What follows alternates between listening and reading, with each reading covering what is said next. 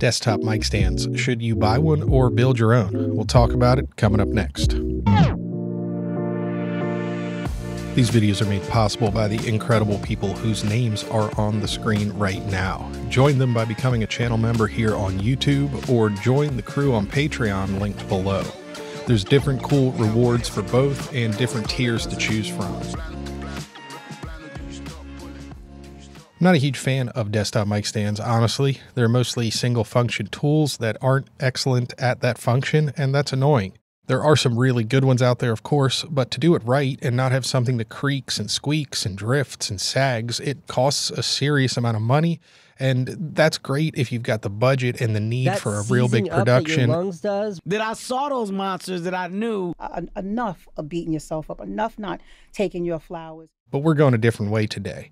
So many folks are using desktop mic stands now. You see them all over YouTube. Podcasting has made them extremely popular. But the issue is a lot of the ones that have come along just aren't very good. My biggest issue with them, honestly, is that there's too many points of adjustment. I don't really need a microphone to be positional in all axes every time I move it. I'd much rather have a microphone come back to a repeatable place and then get the heck out of the way. So the goal is a simple, repeatable desk mic position, and taking this approach will have tools left over if we decide we don't need this someday. These are general grip tools that you can use for mounting all sorts of other stuff. So the way this is set up is with the Manfrotto Super Clamp, that was really just for testing. They're super handy for things like this. They're not that expensive for the amount of problem solving you'll get out of owning a few of them. For this, I would buy it without the pin and save a couple dollars, and then specifically buy the Kupo 5 8 inch pin that I'm showing you here. And you need the longer pin uh, for this to work rather than what comes with the Manfrotto clamps if you're really committed to doing this, like I tested with the clamp first, and then I know this is pretty much exactly where I want to set it up, you can just grab a three inch baby wall plate like this, and uh, you can mount these to ceilings, walls, desks, whatever you want, and you can build out rigs off of them. They're really cheap, like super cheap to buy these things, and they make uh, building rigs like this very simple.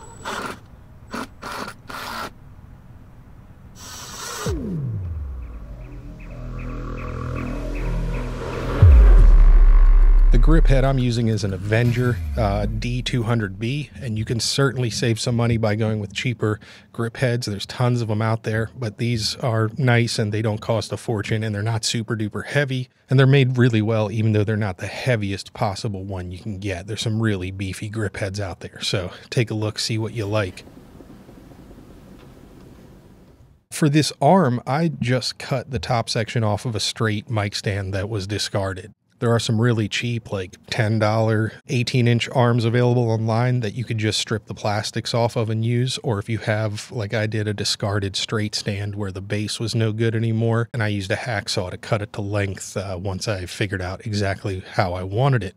On the end of that is a six inch onstage black gooseneck, which again is just the six inch part's all that matters there so that it doesn't get too droopy with the larger broadcast mics.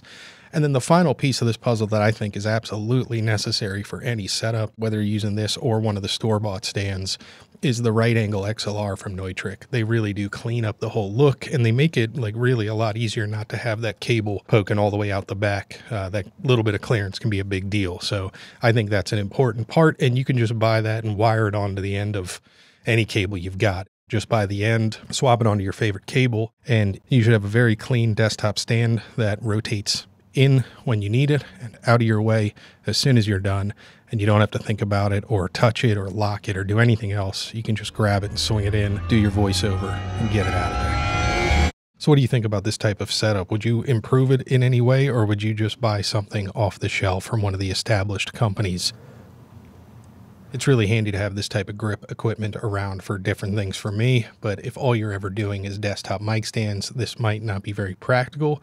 But let us know in the comments below what you are using or what you recommend or what you've put into studios. Maybe you've done some installs for folks before and you've bought some of these other options. Let us know what's worked out for you, which ones you like, and which ones you would rather not have to deal with again. Because even some of the expensive ones aren't perfect. Some of them, honestly, are just kind of repurposed. Uh, computer monitor arms and they're less than ideal for audio. So definitely let us know what you think about those so people can avoid paying those big dollars for something that's just not worth it in the future. That's all for this one. Thanks for watching, and we'll be back with another one soon. Really appreciate you putting up with these kind of infrastructure videos, but it's all really important stuff when you kind of move into a new space or when somebody asks you to uh, recommend gear for a space they're setting up.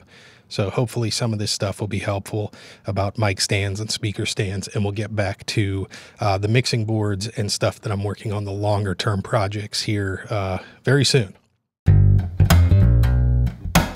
I'll see you in the next one.